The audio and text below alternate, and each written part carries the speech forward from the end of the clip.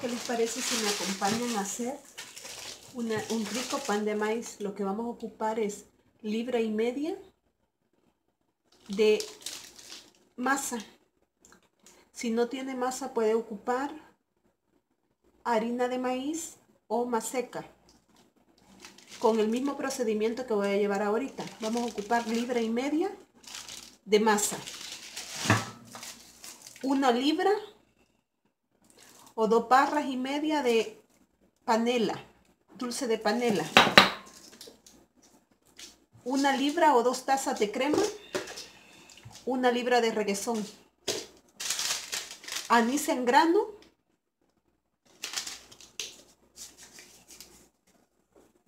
Ocho onzas o dos barritas de margarina derretida. Vamos a ocupar también cinco huevos y comenzamos. Una cucharadita de polvo para hornear. Tengo mis cinco yemas y voy a comenzar a agregar todos los ingredientes. Voy a comenzar poniendo mi requesón. Ya que rayé mi dulce de atado, lo voy a poner a la mezcla. Dos libras son exactamente dos cositas de piloncillo o de dulce de atado del que venden aquí. Es muy importante que lo pese, ¿ok? Mezclo y ahora voy a agregar mi masa. De la misma manera voy a mezclar. Mezclamos muy bien hasta que todo se encuentre muy bien incorporado. Mezclamos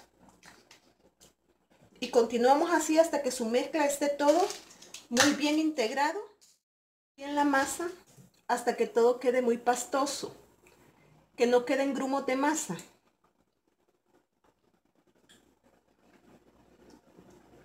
Esos puntitos que se ven ahí son el anís. Le puse aproximadamente media cucharadita o máximo una cucharada de anís. Deshacemos muy bien y cuando ya esté todo muy deshecho, vamos a empezar a montar nuestras cinco claras a punto de nieve, ¿ok?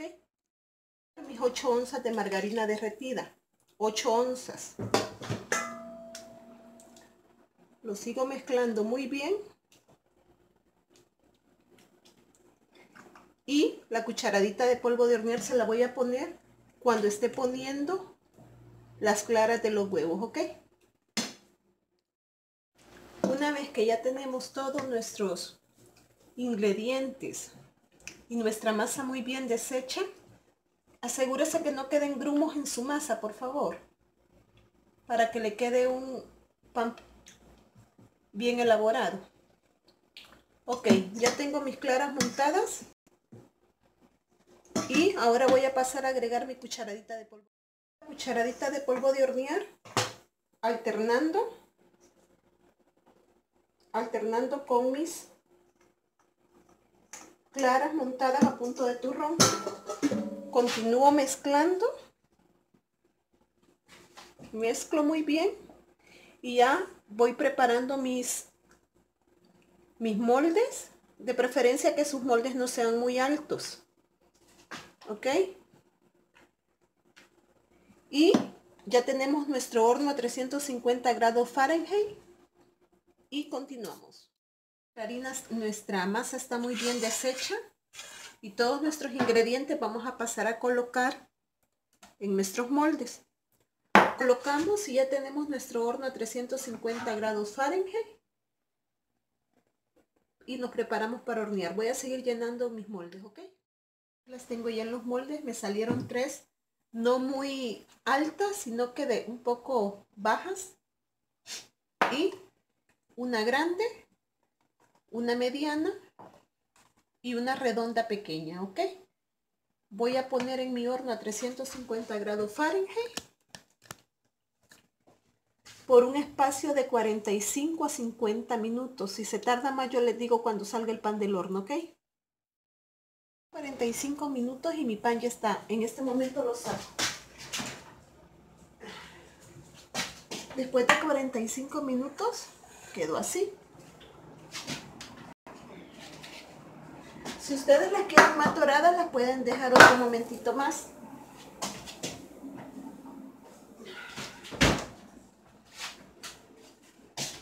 Y así quedó mi pan de maíz. Ok, ahorita lo desmoldo y partimos. Y así quedó ya mi pan de maíz. Vamos a partirlo. Está suavecita, muy suavecita. Si ustedes la quieren dejar un poquitito más alta, la pueden hacer. Yo la hice más como... Aquí está. La pueden apreciar. se llevó exactamente 45 minutos. Si ustedes la quieren dejar maturada, también lo pueden hacer.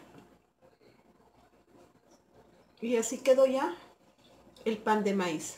¿Ok? Si la quieren más alta, la pueden dejar más alta. Hasta la próxima. Se les quiere. Bendiciones. Espero que les guste, que les sirva la receta.